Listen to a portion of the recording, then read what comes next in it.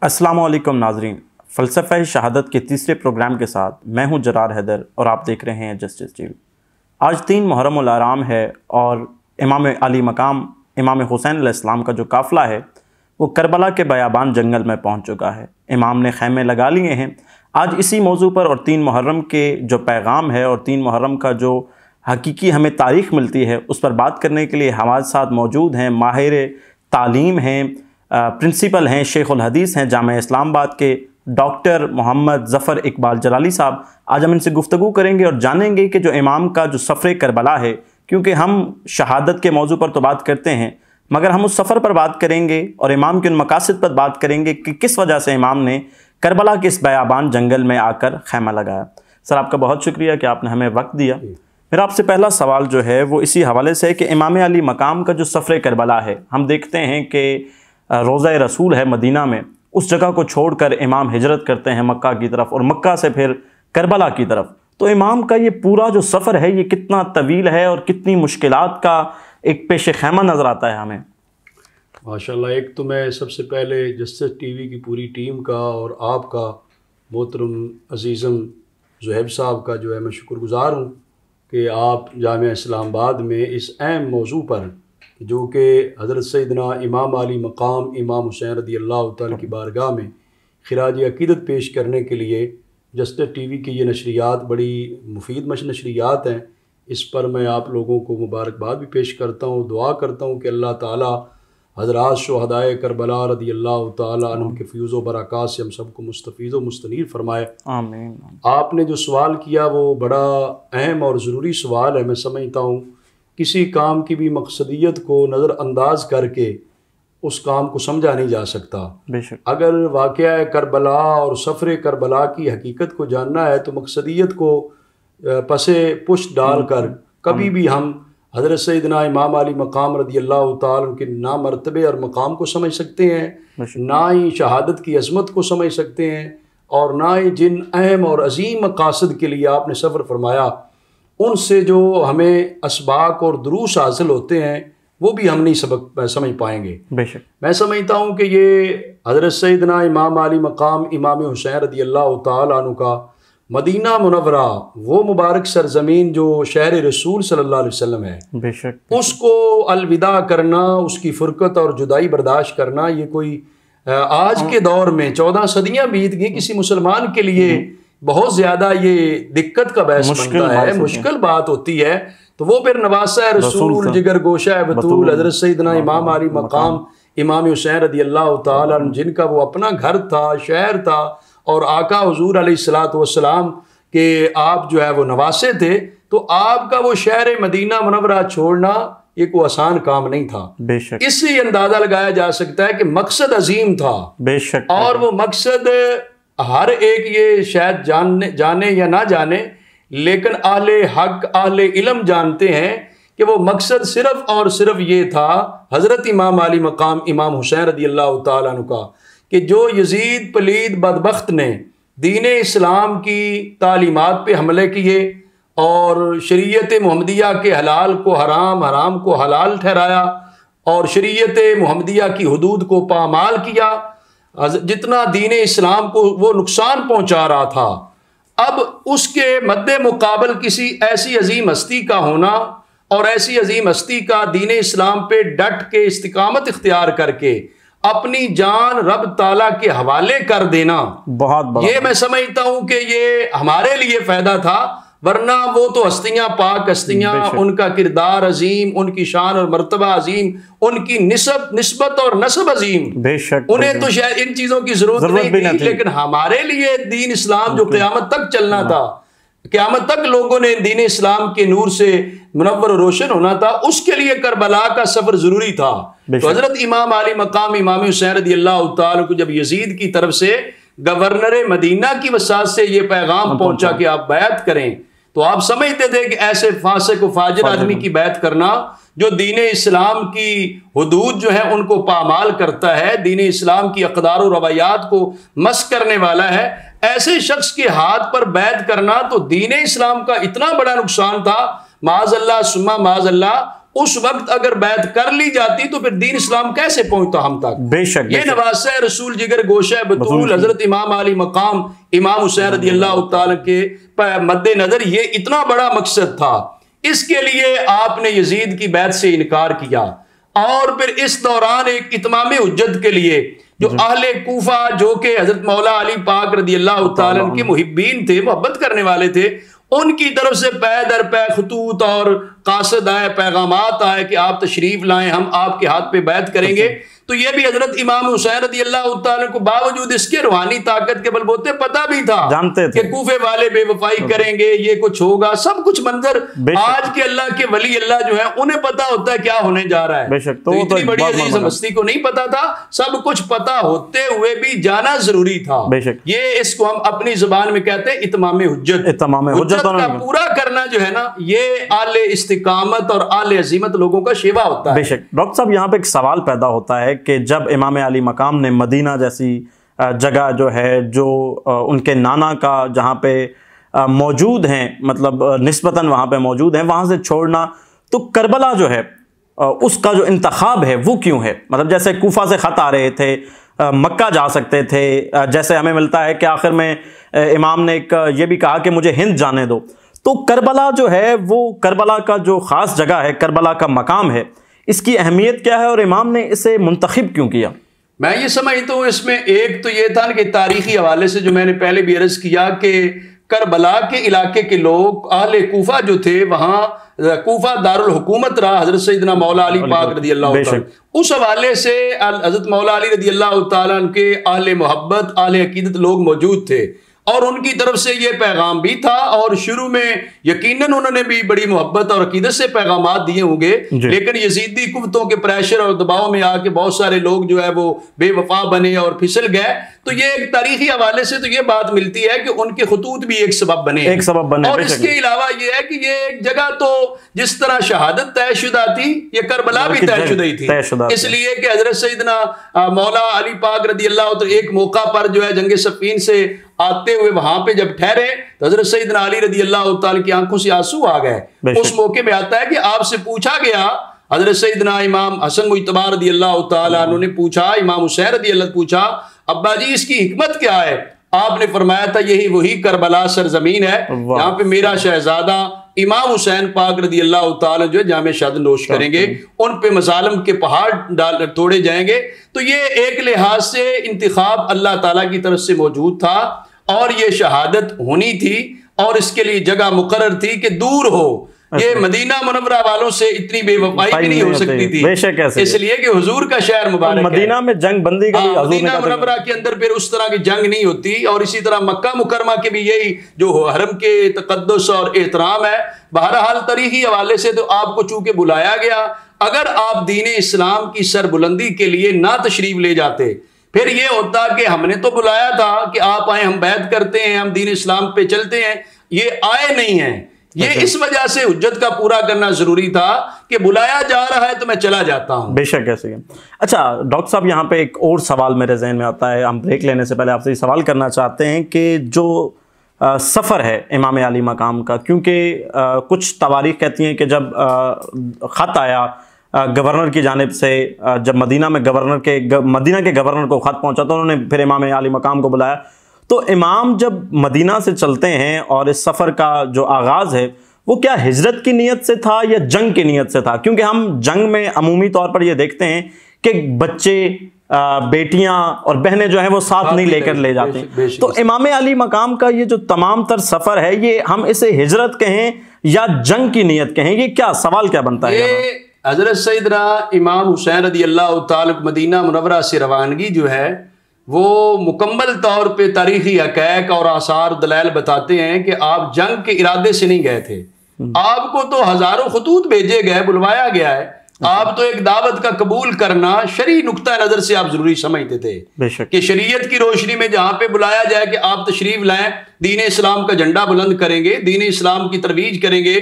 آپ کے ہاتھ پہ بیعت کر کے نظام مصطفیٰ صلی اللہ علیہ وسلم کا نفاذ کریں گے، تو اتنے عظیم مقصد کے لیے آپ کو بلایا گیا، تو آپ اس کے لیے تشریف لے گئے تھے۔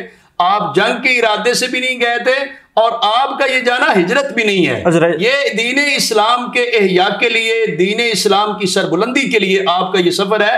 اگرچہ دین اسلام کی سربلندی کے لیے جو سفر ہے بہت بڑا جہاد ہے۔ بہت بڑا بہت جہاد بڑا جہاد ہے۔ آپ نے وہ دین اسلام کے لیے اتنی بڑی قربانی دی ورنہ شہر مدینہ منورہ سے فرقت اور جدائی جو ہے وہ بڑی مشکل اور دشوار ہوتی ہے۔ تو آپ کا یہ سفر صرف اور صرف خالص جو ہے دین اسلام کی سربلندی کے لیے تھا۔ اور جس طرح شاعر نے کہا حقیقت بھی یہ ہے سرداد نداد دست در دست یزید حقا کے بنا لا الہ است حسین۔ یہ تو لا الہ محمد لا الہ الا اللہ محمد رسول اللہ۔ کلمہ طیبہ کلمہ اسلام جو ہے اس کی سربلندی کے لیے یہ آپ کا سفر مبارک تھا۔ ماشاءاللہ۔ سبحان اللہ سبحان اللہ۔ ہم گفتگو کر رہے تھے ڈاکٹر صاحب سے۔ یہاں ہم لیں گے چھوٹا سا بریک اور واپسی پہ جب ہم آئیں گے تو ہم جانیں گے ڈاکٹر صاحب سے کہ نواسہ رسول کی جو اہمیت ہے اور پیار محبت ہے اور کس طریقے سے امام علی مقام نے جب زندگی میں حیات تھے رسالت ماب صلی اللہ علیہ وآلہ وسلم، تو ان کو جو نوید ہے، جو حضرت ام سلمہ کا خواب ہے، وہ تمام تر حقیقتیں جانیں گے۔ ملتے ہیں ایک چھوٹے سے بریک کے بعد۔ یا بریک سے پہلے ہم گفتگو کر رہے تھے سفر کربلا پر۔ امام علی مقام کا جو سفر ہے مدینہ سے کربلا کا۔ اور ہم اب ڈاکٹر صاحب سے جانیں گے وہ جو نسبت رسول ہے امام علی مقام کی اور رسالت ماب صلی اللہ علیہ وآلہ وسلم کی۔ کیونکہ ہم واقعات جب دیکھتے ہیں تو ہمیں نظر آتا ہے کہ بچپن میں امام علی مقام اور ایک بڑی خاص قربت تھی۔ ہم ایک واقعہ دیکھتے ہیں کہ رسالت ماب صلی اللہ علیہ وآلہ وسلم نے اپنے سجدوں کو طول دے دیا۔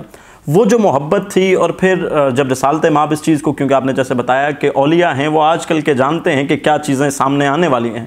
تو ایک نبی کا درجہ تو بہت بڑا ہوتا ہے اور وہ تمام تر دنیا پہ نظر رکھتا ہے کہ کیا ہونے والا۔ تو رسالت ماب جانتے تھے کہ ان کی اتنی پیار کرنے والا، اتنی محبت کرنے والا نواسا جب لشکر سپاہ کے سامنے جائے گا اور کن تکالیف سے گزرے گا، تو اس ہم محبت کا آپ سے تھوڑا سا پوچھنا چاہیں گے کہ وہ جو محبت ہے نانے اور نواسے کے درمیان نبی اور ایک ولی کے درمیان اور یہ تمام تر جو کمپیریزن اور پھر جب کربلا کے موضوع پہ ہم دیکھتے ہیں تو کتنا دکھ ہے اور کتنی رنجیدگی ہے۔ ماشاءاللہ حضرت سیدنا امام علی مقام امام حسین رضی اللہ تعالیٰ عنہ کے ساتھ نبی کریم صلی اللہ علیہ وسلم کی جو محبت تھی وہ دیدنی تھی۔ بے شک۔ نبی کریم صلی اللہ علیہ وآلہ وسلم نے بچپن سے ہی پیدا ہوتے ہی انہیں جو پیار دیا لاڑ دیا محبت دی ہے وہ ایک بے مثل و بے مثال محبت ہے۔ بے شک۔ حتیٰ کہ حضور علیہ الصلاۃ والسلام نے ان کا بوسہ لیتے اپنی زبان مبارک ان کو چو- چوستے ان کی زبان چوستے۔ حضرت سیدنا امام حسین رضی اللہ تک اپنے کندھوں پہ بٹھا کے بطور ایک سواری کے جو ہے آقا حضور علیہ السلام حضرت امام علی مقام کو اپنے کندھوں پہ بٹھا لیا کرتے۔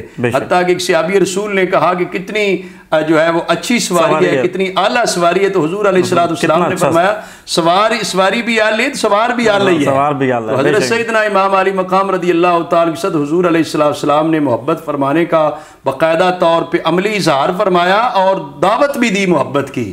اللہ کی حضور دعا کی دونوں حسنین کریمین کے متعلق کہ اللہم انی احبہما فیحبہما ویحبہ من یحبہما اے اللہ میں ان دونوں شہزادوں سے پیار کرتا ہوں۔ تو بھی ان سے پیار کر اور جو جو ان سے پیار کرے ان سے بھی پیار کر۔ اس سے آپ اندازہ لگا سکتے ہیں کس قدر قرب تھا محبت تھی۔ بلکہ حدیث پاک میں جو حضور علیہ السلام نے فرمایا حسین منی و انا من حسین۔ آقا حضور علیہ السلام کا یہ فرمانا کہ حسین مجھ سے اور میں حسین سے۔ اس پر شارحین حدیث لکھتے ہیں کہ یہ قرب خاص ہے۔ قرب خاص۔ بہت زیادہ قرب ہے جس کو یہ حدیث پاک میں آقا حضور علیہ السلام نے بیان فرمایا۔ اور ارشاد یہ بھی فرمایا احب اللہ من احبہ حسینہ اے اللہ جو حسین سے پیار کرے اس سے بھی پیار فرما۔ سبحان تو حضرت سیدنا امام علی مقام امام حسین رضی اللہ تعالیٰ عنہ نبی کریم صلی اللہ علیہ وسلم کے بڑے ہی پیارے شہزادے تھے اور نبی پاک صلی اللہ علیہ وآلہ وسلم کے ساتھ مشابت رکھتے تھے۔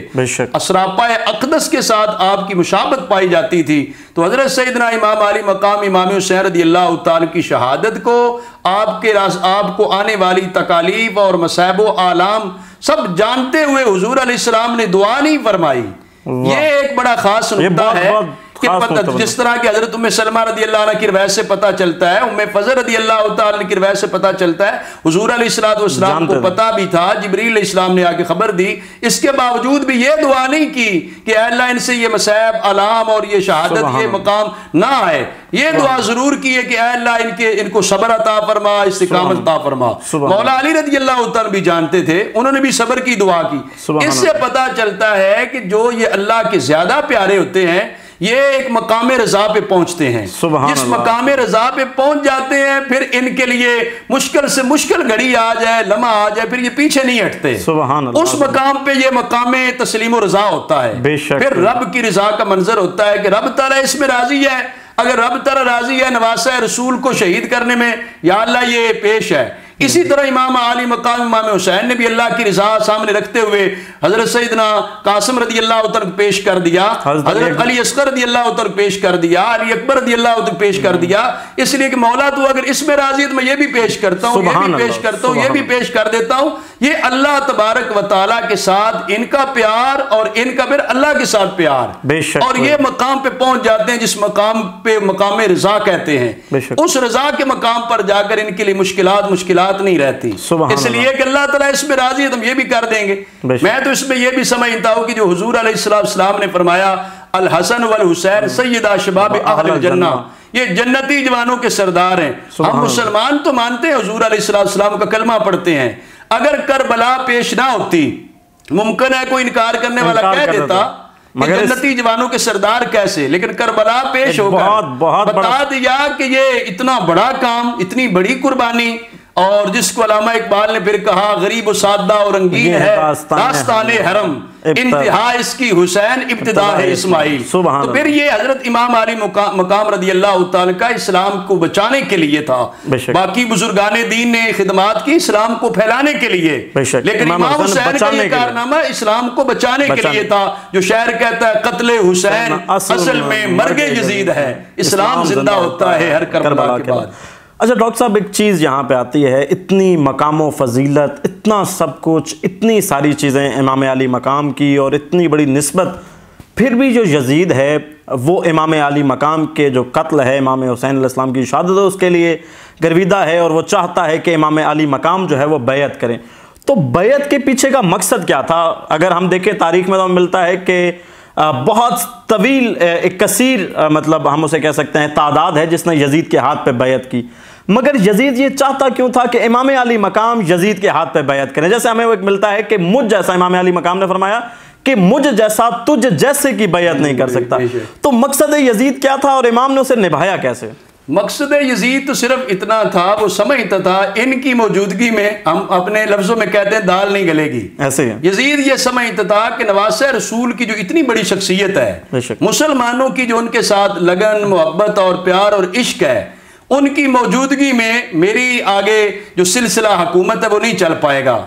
اس وجہ سے اس نے باقاعدہ طور پہ گورنر مدینہ کو یہ بھیجا کہ ان کو سب سے پہلے عبداللہ بن زبیر عبداللہ بن عمر اور حضرت امام حسین رضی اللہ تعالیٰ عنہ کو گرفتار کیا جائے ان سے بیعت لی جائے۔ ایسا۔ اگر یہ بیعت نہیں کرتے تو ان کے ساتھ یہ معاملہ کیا جائے۔ اس لیے کہ وہ سمجھ ان کی موجودگی میں یزید بدبد سمجھتا تھا کہ مجھ جیسے فاسق فاجر کے ساتھ تو کسی مسلمان نے آنا نہیں ہے۔ ایسے ہی ہے۔ اگرچہ اس کے ساتھ حمایتی ہو گئے ایک حکومت کے لالچ میں ہرس میں میں میں۔ وہ ہر زمانے میں ہوتا ہے۔ لیکن یہ حضرت امام حسین رضی اللہ تعالیٰ کی دنیا کے اندر موجودگی جو تھی اتنی عظیم شخصیت کی یہ یزید اپنے راستے میں رکاوٹ سمجھتا تھا۔ اس لیے وہ چاہتا تھا کہ یہ مطلب ان کو راستے سے ہٹایا جائے۔ اچھا ڈاکٹر صاحب یہیں پہ ہم بریک سے پہلے آخری سوال لیتے ہیں کہ یہ تمام تر چیزیں ہمارے سامنے آتی ہیں حسینیت اور یزیدیت کا۔ کیا حسین ایک شخص کا نام ہے یزید ایک شخص کا نام ہے یا حسینیت ایک کردار کا نام ہے اور یزیدیت ایک کردار اب کا نام ہے؟ چودہ صدیاں گزر گئی ہیں تو اب بھی جو حسین حسین ہو رہی ہے نا یہ ایک پیغام کا نام ہے ایک۔ فکر اور سوچ کا نام ہے ایک شعور کا نام ہے اور دوسرے آسان لفظوں میں یہ کہا جا سکتا ہے حسین حق کا نام ہے یزید باطل کا نام ہے۔ یہ یزیدیت جو ہے یہ باطل کا نام ہے وہ جس روپ میں بھی ہو اور اسی طرح حق جہاں کہیں بھی ہوگا وہ حسینیت ہوگی۔ حضرت امام حسین رضی اللہ عنہ حق کا علم بلند کیا آپ علم بردار تھے حق کے اور اتنی عظیم قربانی پیش کر کے آپ نے قیامت تک کے آنے والے مسلمانوں کو حق دکھا بھی دیا حق۔ سمجھا بھی دیا اور حق پہ چلنا سکھا بھی دیا۔ سبحان اللہ سبحان اللہ۔ جیسے گفتگو کر رہے تھے ڈاکٹر صاحب اور ہم بتا رہے تھے کہ امام علی مقام نے کہا کہ یہ نہیں کہا کہ میں حسین تو یزید کی بیعت نہیں کرتا، بلکہ یہ کہا، ارشاد فرمایا کہ مجھ جیسا، تجھ جیسے کی بیعت نہیں کر سکتا۔ تو یہ آج بھی جو کردار ہیں، حسینیت کا کردار ہے، حسین والے جو ہیں، وہ حسینیت کردار کا پرچار کرتے ہیں اور یزید کے جو کردار والے ہیں، وہ یزیدیت کا پرچار کرتے ہیں۔ ہم یہاں لیں گے ایک چھوٹی سی بریک اور وقفے کے بعد جب ہم آئیں گے تو پھر بات کریں گے کربلا اور آج کے مسلمان پہ۔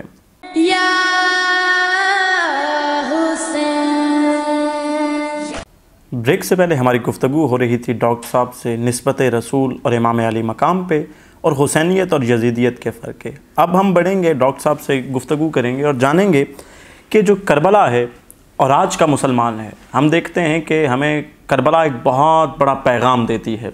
امام علی مقام کی بہت بڑی قربانی ہے۔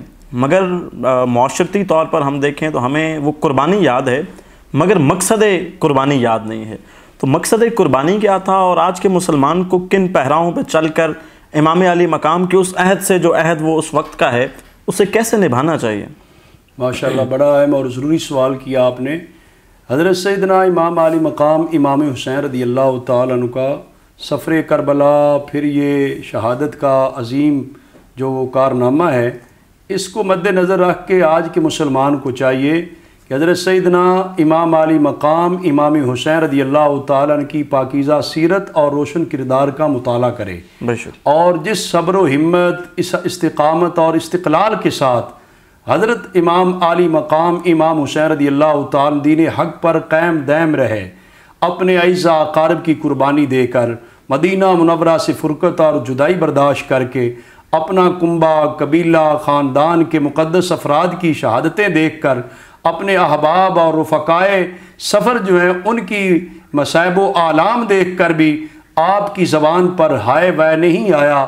آپ نے جو صبر کی داستان رقم کی سرزمین کربلا پر، وہ قیامت تک کے مسلمانوں کے لیے پیغام استقامت ہے، پیغام عظیمت ہے کہ حق کے راستے پر چلتے ہوئے اگر بڑی سے بڑی کوئی مصیبت آئے، مشکل آئے، اس مصیبت اور مشکل کو خندہ پیشانی سے برداشت کرنا میں یہ سمجھتا ہوں یہ پیغام کربلا ہے اور حضرت امام علی مقام امام حسین رضی اللہ تعالیٰ کی ذات اقدس جو ہے وہ ہمارے لیے قابل تقلید نمونہ ہے۔ آپ کی ذات گرامی سے دیکھیں کہ آپ کس قدر جو ہے وہ معاشرے کے نادار، فقراء مفلوق الحال لوگوں سے پیار کرتے کہ ایک دفعہ آپ گزر رہے تھے بازار سے تو فقراء نے آپ کو دعوت دی کھانے کے لیے۔ اگرچہ ظاہر ہے ان کا کھانا کوئی اس طرح کو زیادہ تو نہیں تھا لیکن ان دعوت دی تو آپ نے دعوت قبول بھی کی اور ان کے ساتھ بیٹھ کے یہ کہنے لگے کہ تکبر کرنا اچھی بات نہیں ہے ان فقراء کے ساتھ بھی بیٹھنا چاہیے۔ پھر ان کو آپ اپنے ساتھ اپنے کاشانہ اقدس پہ لے گئے انہیں اپنی طرف سے کھانا پیش کیا ہدایہ پیش کیے۔ ایسے ہی حضرت سیدنا امام علی مقام امام حسین رضی اللہ تعالیٰ عنہ باقاعدہ طور پہ اپنے کندھوں پہ بوجھ اٹھا کر غلے کا معاشرے کے نادار، یتیم، مسکین بیواگان کے گھروں تک پہنچاتے تھے۔ جب آپ کو بعد میں دیکھا گیا تو حضرت سیدنا امام زین العابدین رضی اللہ تعالیٰ پوچھا گیا کہ امام علی مقام کی پشت پر یہ نشانات کس بات کے ہیں؟ آپ نے فرمایا، یہ تو رات کی تاریکی میں یہ تو غلہ کا بوجھ اٹھا کے خود جو ہے بوری اٹھا کر فقراء غربا یتامہ اور مساکین کے دروازے پر لے جاتے اور انہیں راشن مہیا کیا کرتے تھے۔ حضرت اسامہ بن زید رضی اللہ تعالی بیمار ہوئے ان کی عیادت کو گئے۔ تو آپ نے ان سے کہا کیا وجہ پریشان نظر آتے ہیں۔ انہوں نے کہا ساٹھ ہزار کا مقروض ہوں۔ آپ نے فرمایا ہے اسامہ پریشان نہ ہو میں آپ کا قرض ادا کر دوں گا۔ آپ نے فرمایا اب قرض تو دیں گے لیکن میرے اوپر تو بوجھ ہے۔ مجھے تو پریشانی ہوگی جب تک ادا نہ ہو۔ آپ نے فرمایا چلے میں ابھی کر دیتا ہوں۔ یہ حضرت امام علی مقام کا اسوہ حسنہ آپ کی سیرت کردار آج کے مسلمان کے لیے بھی ضروری ہے کہ ان کے نقش قدم پہ چلے، جس طرح ان دین اسلام کی سربلندی کے لیے قربانیاں پیش کی، آج ہمیں بھی کوئی مشکل آتی ہے دین کے کام میں، دین کی ترویج میں، اشاعت میں، دین پر عمل کرنے میں۔ آج گھر گھر مشکلات ہیں، ہر گلی کے اندر مشکلات ہیں، اس لیے کہ دین دشمن قوتیں، دین اسلام پہ عمل کرنے والے لوگ، چلنے والے لوگوں کا مذاق اڑاتے ہیں، طرح طرح کے مسائل کھڑے کرتے ہیں، تو لہذا ہمیں گھبرانا نہیں چاہیے۔ ہمیں یہ سمجھنا چاہیے کہ نجات جو ہے یہ اسی کردار حسینی کے اندر ہے۔ سبحان امام علی مقام کے نقش قدم پہ چل کر ہی ہم حقیقی کامیابی حاصل کر سکتے ہیں آخرت کی نجات حاصل کر سکتے ہیں۔ لہذا امام علی مقام کا یہ پیغام ہے کہ آپ نے دین اسلام سے سرے منہ بھی بال برابر بھی انحراف نہیں کیا۔ طرح طرح کے مسائل اور مشکلات کے پہاڑ ٹوٹے۔ سارے برداشت کر کے بھی آپ نے بال برابر بھی انحراف نہ کرنا ہمارے لیے سبق تھا کہ آپ بھی دین اسلام کے ساتھ جو ہے اس طرح آپ مستقل مزاجی کے ساتھ چلیں تاکہ دین اسلام کی تعلیمات پر عمل کر کے کامیاب زندگی بسر کر بے شک جیسے وہ ایک شعر ہے ڈاکٹر صاحب کہ جب کبھی ضمیر کے سودے کی بات ہو ڈٹ جاؤ تم حسین کے انکار کی طرح۔ ناظرین ہمیں دیکھ رہے ہیں۔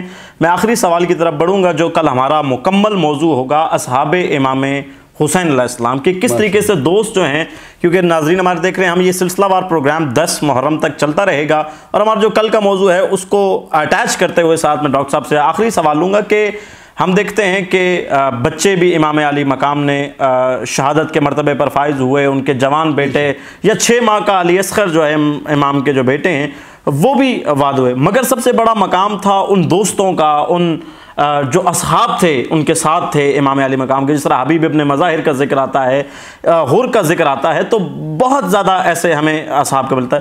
تو دوستی اور رفاقت جو امام علی مقام تھی اس پہ آپ گفتگو کر دیں تاکہ ہم پروگرام کو ماشاءاللہ یہ تو خوش قسمتی کی بات تھی جو خاندان نبوت کے ساتھ جڑ گئے۔